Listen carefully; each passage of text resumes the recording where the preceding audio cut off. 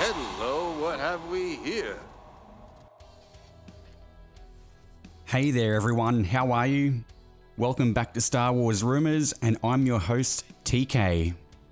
In the last 24 hours, we have received the trailer for the new Respawn game coming out at the end of the year called Star Wars Jedi Knight Fallen Order. In one of my previous videos, I talked about the rumors behind Kanan or Ahsoka being the main playable character in this game.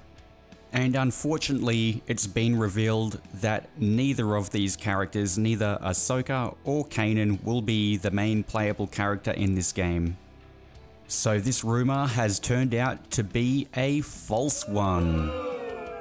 I know there's going to be tons of people out there upset about this, but on the flip side, this looks like it's going to be an awesome game.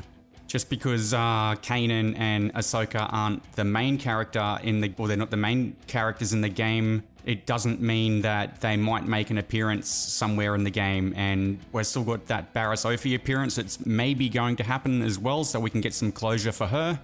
The story will focus on a young Padawan who has survived Order 66 and his name is Cal Kestis. And he has a droid called BD-1.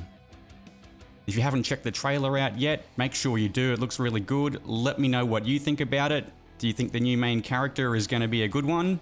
It's really good getting to see some stormtroopers and some new stormtroopers that fight alongside the Inquisitors to help them catch the Jedi. And the Inquisitor that we've seen so far looks really powerful and mean, and just in, look how intimidating she looks. This game does come out on the 15th of November this year, which is my wife's birthday. Maybe I'll get it for her as a birthday present. I've got a bad feeling about this. Or maybe not.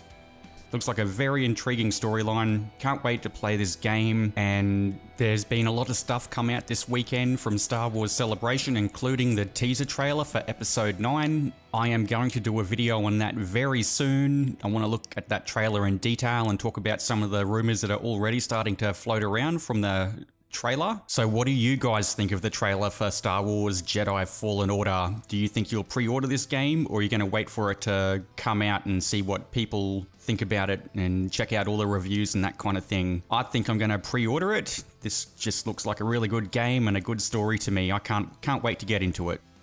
Just before I go, I just wanted to um, do a shout out to a channel I've come across over the last few days. The name of the channel is called ManKnowLiya. He does movie movie reviews and he's pointed out some really cool ones so far. I've been talking to him a little bit online and he's a really nice guy, easy to follow reviews and just kind of cuts to the chase, gets to the flesh of the movie and he knows movies so well, like he even tells you what part of your daily or weekly grind you should watch it in because he knows like you feel different on a Wednesday than you do on a on a Friday. So he even recommends what night of the week or what part of the week you should watch it with or who you should watch it with. Anyway, check him out. I'll put a link to his channel in the description below as well. Thanks for watching guys and I'll see you in the next video.